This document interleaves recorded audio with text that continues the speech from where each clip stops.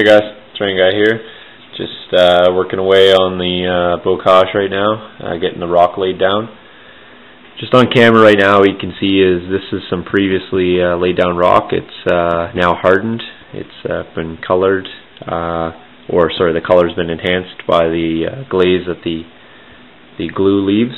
So um, next stage is going to be putting down the wire mesh in here, um, then building up the foliage. As you can see, I don't lay it uh, across the top at all. I kind of build up that centimeter, basically, that centimeter, centimeter and a half uh, black line you painted. That's basically your guide for laying the rock down. So it works, it's got a dual purpose. It gives you that shadow, and of course, if you're using it as a shadow, you want to keep your rock uh, over the shadow. Uh, I bring the green right up into the rock because the grass is actually going to come in there. Don't need to lay perfect lines either. Um, you can kind of see off camera here, sorry. Um, I've laid out this little spur coming out here. That's just to give it a little uh, a little um, character. I do that uh, several places. I'll just show you back here too. Um, I've just laid a little bit of uh, rock off the bocage. This is not um, something that I plan to do. It's just kind of as I'm building, I just feel, oh, okay, well maybe they came down here and um, it trailed off here, or maybe this pile hasn't been thrown on here yet, or maybe this is uh, rocks have been accumulated in the field and they've just been collecting and gathering there. Um, just kind of put a backstory on everything, just to uh, justify why you're doing things. So, uh, what I wanted to show you too is just how I get uh, the rock prepared. You've all seen the uh, the washing video. Um, that's just me washing the rock. Uh, once the rock's washed and dried, throw it in a tub um, I throw in some glue and then I start mixing up. This is basically what your rock should look like when you start putting it down. You're going to think like, wow, that's a lot of glue and that'll never clear. And uh, but I assure you, this is this is the same stuff, the same technique as how I laid this down. And I think the end result of that is is pretty nice. You don't see any white. There's no um, white um, accumulated in the corners or anything. And then when you lay it down in your uh, hedgerow, it looks like that. So gives you a nice effect overall. So if it looks like this, don't panic. That's what it should look like. Alright, so now I'm just going to lay it down along here. And I'm just going to chat as I do that. Um, you may get in a situation, let me just show you this here, get in a situation where your seams run right along uh, where your bocage is. So obviously I can't put rock here because it'll fall down. So what I do is actually lay the rock on one side and then bring it up here and I'll leave a little gap and I kind of do a, an overage of the rock to blend and what I mean by that is right here I did that. It ran on this side of the seam and then over here. So right where the two meet, I actually ran this one a little longer and this one right there. Then when I bring the foliage down, it kind of just looks like it jets in as opposed to having um, the rock uh, make a big or have a gap in the rock. So there you go. That's where it separates. That's where it goes together. And when I lay the foliage down, be no problem. So uh, you can easily just avoid having your uh, seams or your rock end on a seam. I didn't really worry about it because I, I know how to kind of hide it. And another reason too, when you get good at things or when you get good at doing this, um, if you have features on your seams um, if you know how to do it right, it's a great way to hide your seam because when this rock's here and the rock's on here, this section of the seam, you will not see at all. It won't be seen as a seam. So I try to get rid of seams by hiding them under features. It's a little more difficult, but when you uh, feel comfortable doing it, I'd start doing it as much as you can. Alright, so let's get you in a position where you can kind of see what I'm doing. Okay. So I suggest as you're working too to occasionally, or frequently, I guess, as opposed to occasionally, frequently stir your uh, your rock so it doesn't get uh, stuck together. And basically, I use a tongue depressor and um, popsicle stick help me out. I grab out some, I just start throwing it down, kind of like you're scooping out ice cream, but I guess this would be Rocky Road. It's a bad joke. Um, so I lay it down. Like I said, I use that centimeter that I painted black as my guide.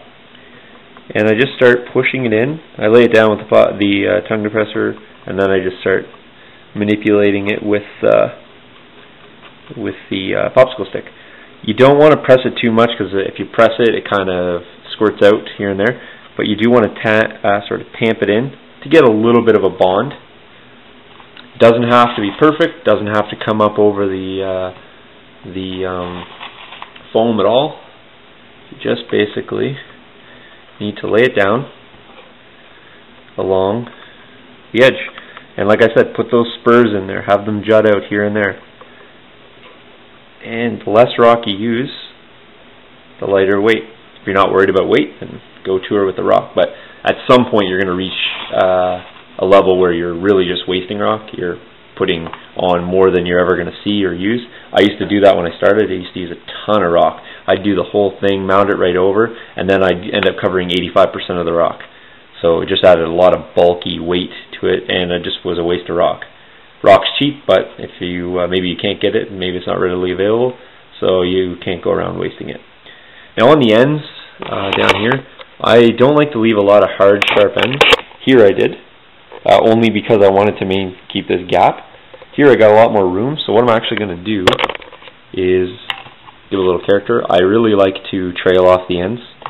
I like to put a little character, a little stylistic uh, um, touch on the end. So this one here I'm just going to wrap out a little bit, have a long uh, tail, and then when I do the foliage it'll actually kind of just go up on top of that and leave a nice little spur of rock and foliage.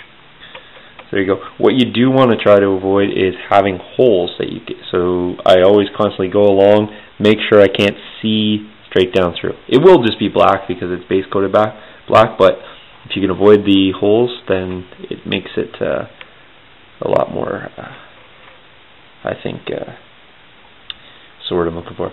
It looks a lot nicer, essentially. So, working with the rocks, laying them down here and there.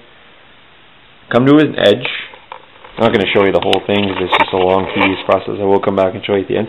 When you get to the edge, put your rocks as close as you can to the edge. Then lay your rock over here. What I'm going to do is I'm actually going to work this way. Give this a second to kind of dry up a little bit. Then I'll come back and lay my rock. If you lay the rock together while both are really, really sticky, um, it's just going to be a nightmare trying to keep that border between. So I'll work this way for a while, come back here when this is dry, then lay down some more wet rock so it's, un it's less likely to stick to that uh, seam that I got there. So off I go. You notice here I painted it black but I'm not actually using it because I sort of turned that spur out this way. That's fine. You can put a little green paint down there or you can just forget about it and then lay your grass right over top of it. You're going to have a little darker patch there but it's just going to look like a shadow from this anyway so not going to be an issue.